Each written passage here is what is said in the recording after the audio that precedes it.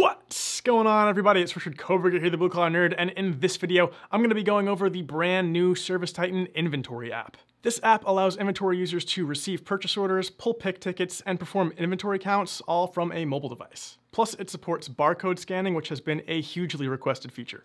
Now before I jump into the app, something important to know is that you need to be using full inventory in order to use this app. So at least as of the time of me recording this video, if you're only using the purchasing module and not full inventory, then this app will be of no use to you.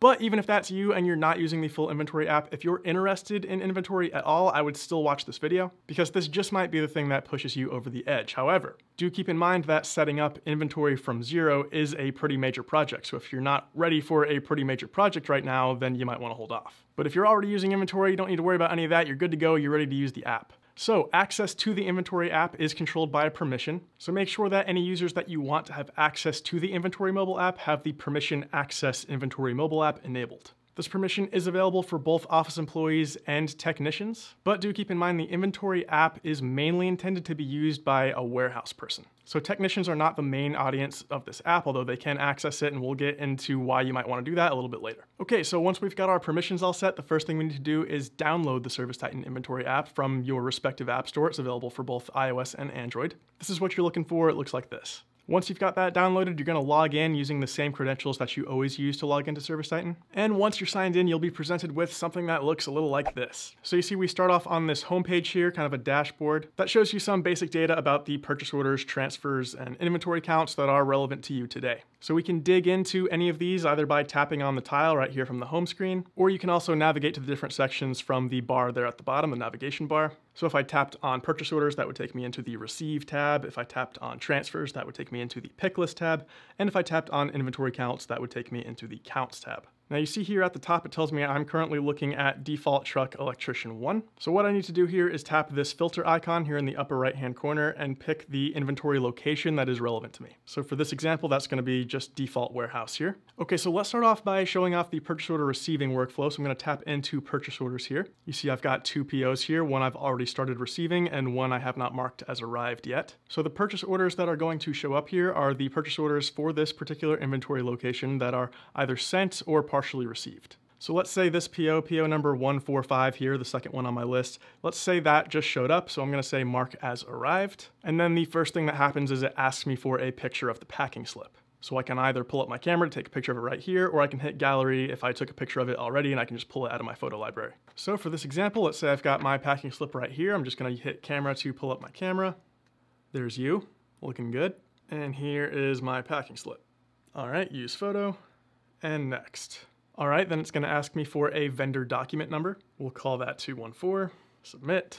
Okay, and then it tells me, great, that's now marked as arrived, and asks me what would I like to do next. Would I like to return to the POs, or would I like to start receiving this PO? So let's go ahead and start receiving. And then I get a list of all of the items that were on this PO that I need to count and reconcile. And this is where the barcode scanning comes into play. So let's say this was a big purchase order. It's not in my actual example, but let's say it was a big order. We've got like multiple pallets of stuff here. Well, as I'm coming across stuff, I wanna count it and I don't wanna scroll through this long list to try and find the thing that I'm looking at. So instead, what I can do is just scan the barcode. So the button to pull up the barcode scanner is in the upper right hand corner there. Now, as you may have guessed, I am not actually in a warehouse right now. I'm in my home studio. So this is a bottle of fish oil supplements, but let's pretend that it's actually some half inch aluminum conduit.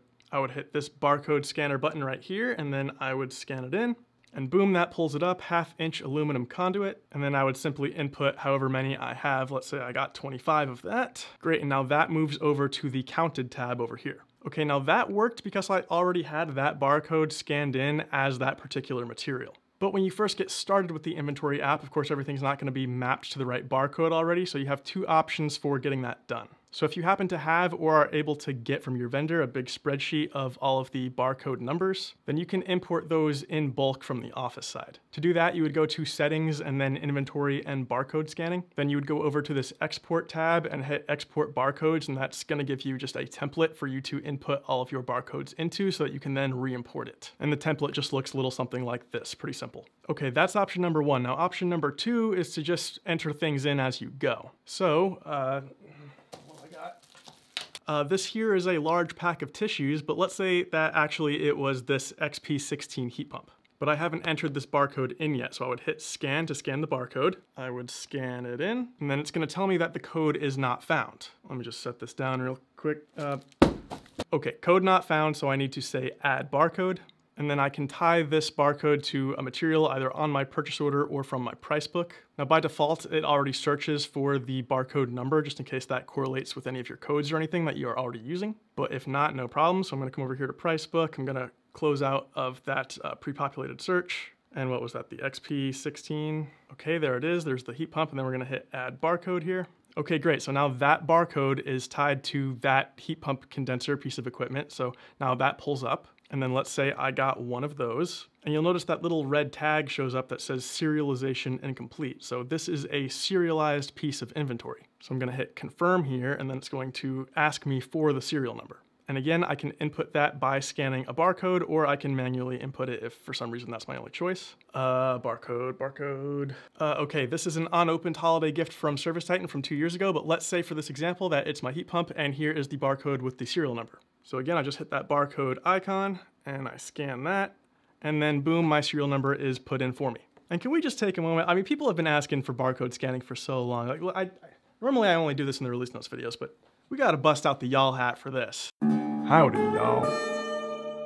All right, anyways, now that that's put in, I'm gonna say finish and receive item, and then that item is marked as received. Now, by the way, just something I wanna call out, uh, you might notice that nowhere on this counting screen does it say how many items we're expecting. It doesn't tell you how many were on the PO. That is very much on purpose. That is to force the person who is supposed to be counting this inventory to actually count it. Versus if it showed you like, okay, we're expecting 50 of this item, somebody who was in the mood to do some pencil whipping could just type in 50 without actually doing any counting, which would defeat the entire purpose. Now it is planned at some point to offer the option to show how many of the item we're expecting. It would be something that an admin could turn on if they wanted to, but that's not something that was in the scope of this initial launch. All right, only two more things for my example here. So let's say I got 24 of that, and let's say that I got 26 of that. Click confirm on both of those. Okay, and then I'm automatically moved over to the counted tab because everything is counted now. By the way, if I needed to make any changes at any point, I can come over to the counted tab and hit the little kebab menu next to any item and I can edit the quantity or I can return it to uncounted. Also, if for some reason my vendor has sent me something that isn't on my list, I didn't order it, I still need to track that I've received that. So from the kebab menu here in the upper right hand corner next to the barcode scanner, uh, there you have that option to add an item that is not on the list. All right, so now I'm gonna go ahead and hit done, and it highlights any issues that I have. So you see here for one of these items, I am missing some quantity, and for one of those items, I actually had extra quantity. So I know from my purchase order, I actually ordered 25 of both of those things, but I input 24 and 26, so that is why these issues are here and being highlighted. So I hit finish for now, that's gonna sync to the office side, and then we can deal with those two issues. So you'll see now because we had those two issues, uh, the PO is still here. So let's hit continue receiving on it, and let's say that my vendor sent me that one of that item that I was missing. Let's say confirm. Great, and now I am 100% received, so we're good. I mean, I still have that extra item, but we would just return that. So now I am ready to hit submit, and then the PO is moved over into the received status. And if I hit return to POs, that PO is no longer showing because it does not need to be received anymore. Cool, so that's the PO receiving workflow. Now let's talk about transfers. So transfers are initiated from the office side. That's where I'm taking some inventory, let's say my warehouse inventory, and I want to transfer it to, let's say, somebody's truck. So I see here that I have one transfer that is due today. Uh, transfers are gonna be due the day that they are created. So let's tap into that. You see that there's actually two pick lists that I could choose from, but only one of them is due today. So let's start picking this uh, default truck HVAC Tech 1 pick list. So I'll hit start picking here, and then I get the list of items that I need to pick. So as I'm going around, I can mark things as picked. I can also hit this kebab menu here on the right hand side of any item to edit the quantity or add additional serial numbers. And of course, barcode scanning is supported here as well. So pretty straightforward. We just mark these items as picked as we're picking them. Assuming we had everything that we needed to pick, we're gonna get this, we're gonna have no issues. But let's return an item to unpicked here. And I see that I needed two of those, but maybe we didn't have two of those. So let's say I only picked one. I'll hit pick and then hit done. And then we get this issue highlighted where we were missing one piece of this material. And it tells us here that the office will be notified of that issue. All right, so let's hit submit here and return to pick lists.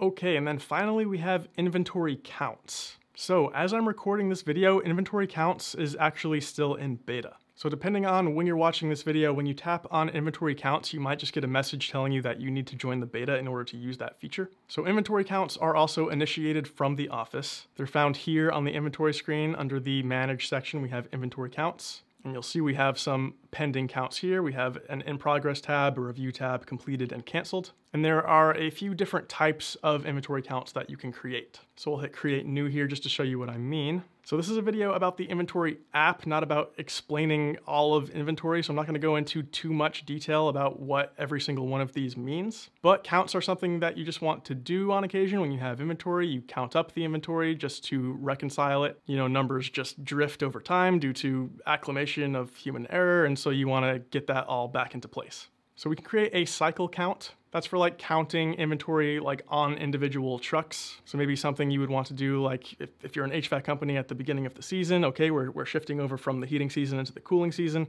Let's do an inventory count, make sure we've got enough, you know, cooling related stuff on our vans. Then we have item count. That's best for verifying the quantity of just a single item, but across multiple inventory locations. We have full inventory count. That's something you might want to do like once a year just to correct that drift. And then we have beginning inventory count for when you're just starting with inventory and you need to input all of your starting levels. So let's just tap into that. You see I have a bunch of open examples here. So let's just tap into one here. Let's say start counting.